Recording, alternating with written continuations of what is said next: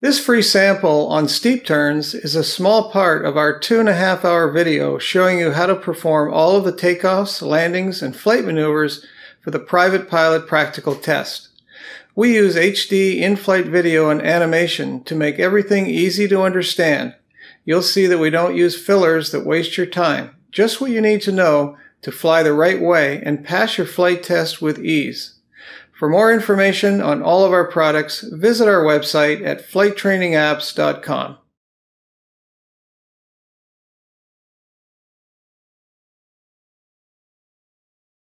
The first in-flight maneuver of the practical test is Area of Operation 5, steep turns. Steep turns are a performance maneuver requiring an advanced degree of piloting skill.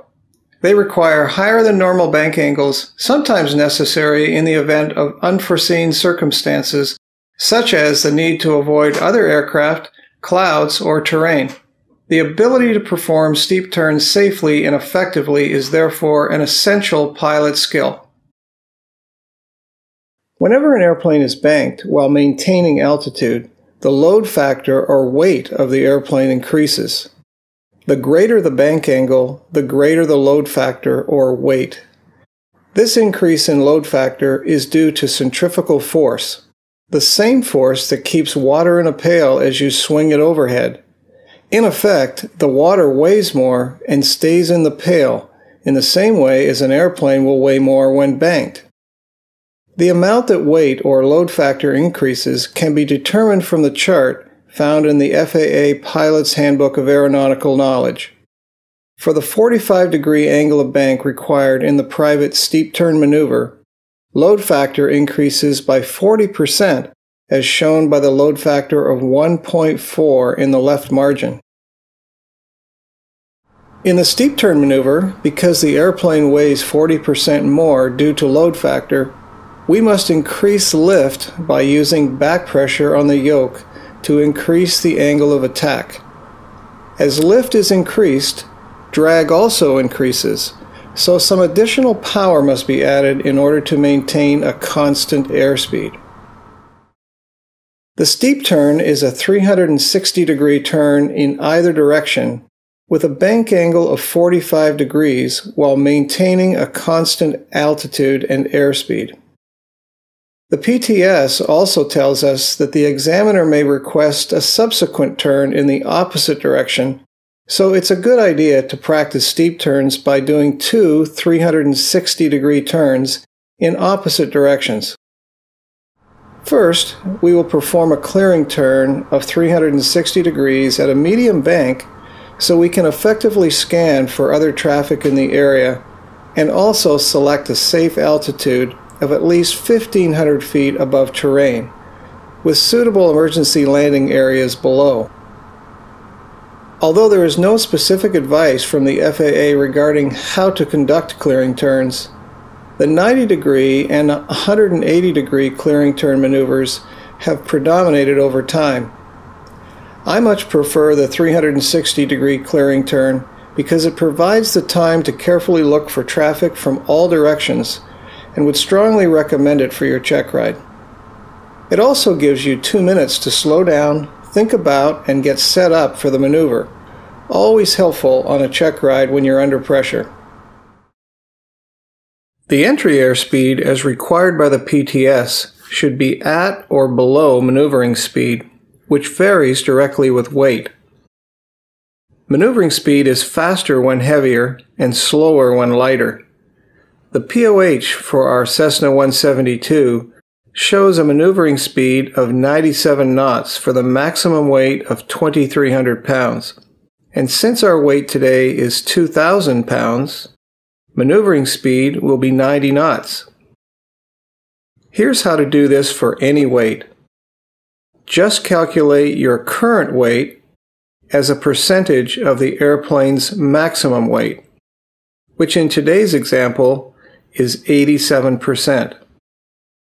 Then take the square root of this number, which is 0.93, so our weight adjusted maneuvering speed is 93% of 97 knots, which equals 90 knots.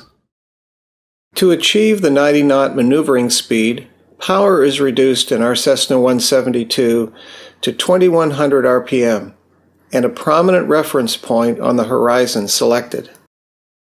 Set the heading bug if you have one, or if not, make note of your heading because this heading will be where the turn must be completed within 10 degrees. Trim the airplane before beginning the maneuver so it is stable with respect to altitude and airspeed. Roll into a coordinated bank of 45 degrees, remembering that significant right rudder will be required in a right turn and little to none in a left turn. After passing the 30 degree point, add approximately 200 RPM of power to maintain airspeed as back pressure is added to maintain altitude. Trim to relieve control pressure. Because of the overbanking tendency, some opposite aileron pressure will be necessary to prevent the bank from increasing past 45 degrees. In steep turns to the right, because of something called parallax error, the airplane's nose will appear to fall causing a tendency for the pilot to incorrectly compensate by increasing back pressure. In fact, this is an illusion caused by being in the left seat. In a steep turn to the left, the nose will appear to rise, and the temptation to compensate by reducing back pressure will be an instinctive but likewise incorrect reaction. To eliminate these illusions, Maintain your focus on the horizon and keep the airplane's nose only in your peripheral vision so you can perceive any real gain or loss of altitude correctly and not be influenced by the appearance of the nose. Keeping your focus on the horizon will also help you to approximate the required 45 degree bank angle. Make sure that most of your visual scan is maintained outside the airplane and not inside at the instruments. Deviations in altitude and bank angle will be perceived much sooner by keeping your focus outside, and therefore corrections can be made earlier. It is a useful practice technique to have your instructor cover the altimeter and attitude indicator so you will be forced to look outside and develop these perceptual skills. You'll be surprised how much easier this maneuver is to do this way. Of course, some attention must be paid to the airspeed, altimeter, and attitude indicator so precise deviations can be interpreted and corrected. But by keeping most of your focus outside, you'll have smaller deviations to correct. Airspeed is an important consideration in performing steep turns. However, as long as the correct power settings were established and maintained during the maneuver, airspeed deviations can only be caused by altitude deviations. Losing altitude results in gaining airspeed and vice versa, so keeping a constant altitude prevents airspeed deviations. As the 360 degree reference appears, Begin the rollout to level flight approximately 20 degrees before your original heading by reducing bank and applying opposite rudder simultaneously so the rollout is coordinated and not either slipping or skidding. Remember to apply forward pressure on the yoke and retrim to avoid gaining altitude and reduce power back to the original power setting so airspeed and altitude remain stable. Some of the common errors in performing steep turns are excessive pitch change during entry or recovery, failure to stop the turn on a precise heading, inadequate power management, inadequate airspeed control, poor coordination, gaining altitude in right turns or losing altitude in left turns failure to maintain constant bank angles, attempting to perform the maneuver by instrument reference rather than visual reference.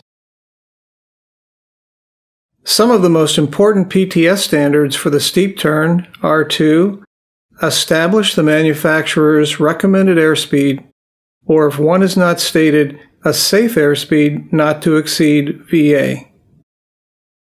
Roll into a coordinated 360 degree turn, maintaining a 45 degree bank. Perform the task in the opposite direction if specified by the examiner. Divide attention between airplane control and orientation. And maintain the entry altitude plus or minus 100 feet, airspeed plus or minus 10 knots, bank plus or minus 5 degrees, and roll out on the entry heading plus or minus 10 degrees.